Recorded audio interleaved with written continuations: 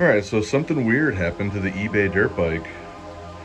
So the controller went last week and I know the controller is mounted in this metal housing with the battery and it gets no airflow and it's always super hot when I check it right after the full discharge. Uh, so I just figured that the controller blew when we had a problem with it last week. So I threw a new eBay controller in there real quick, this one, and it worked for another week. And then it just went out again. So I was like, huh, that doesn't make much sense. So I dug into the old controller and I opened it up and I noticed that not one MOSFET is blown on the entire rail. So I'm like, what is going on here? Something's not right. So I opened the controller box up again. I uh, took the phase wires off of the second controller and I noticed that my hub motor spun freely again, but it was like locked up for a second and then it started spinning free and I was like, something's not right with that. All right, so I took the whole entire thing out and I just like took it right down to wiring. And then I started spinning the motor and the motor spun freely. But then I wiggled the wires and then they started binding up. So I found the issue. There's a short circuit where the phase wires go into the metal housing. So we have a bad connection inside the wiring to the hub motor. So what I'm hoping I can do is I can fix this problem and then put the old controller back in so we can get the SW900 display back working and everything will be good in the bike. So let's get it going and see if we can fix this thing. And there it is right there. I pull the phase wires out and you can see that they've been slightly crushed by the battery pack. And there's actually a tiny bit of melted styrofoam on the cable from getting warm.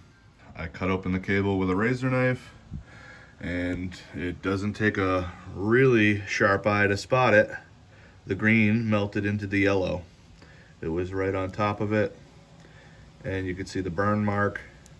I spread it apart and there's our short. All right, I've repaired the cable. I put some 3M 600 degree tape around it and insulated all three phases.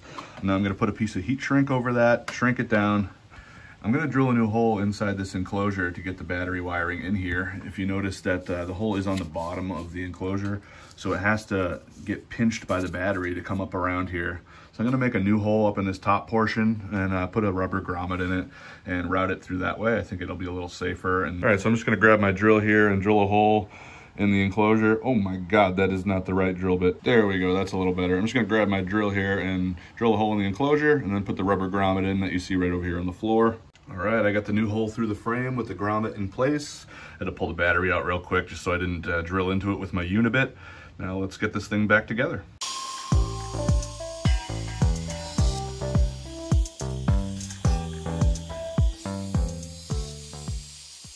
There you have it. So basically now our problem area of our phase wiring is now inside the housing instead of outside the housing which is what we were aiming for.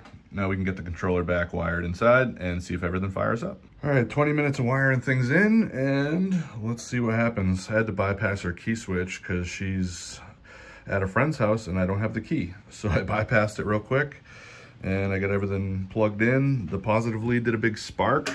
Let's hold down this M button and see what happens. Boom. Look at that, it turns on. Battery says full. I still have nothing soldered, it's all just loose. Let's try to get the wheel off the ground and spin it.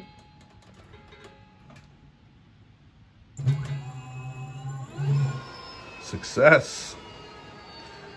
Oh my God, the old controller still works. So it was just a shorted phase and that was the only problem.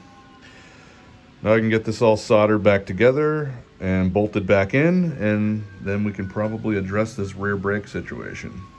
All right, we got the bike back together. Everything's working. I'm gonna bolt it back in, put a little uh, supports on the controller, make sure uh, it's in a good airflow spot and uh, close it up.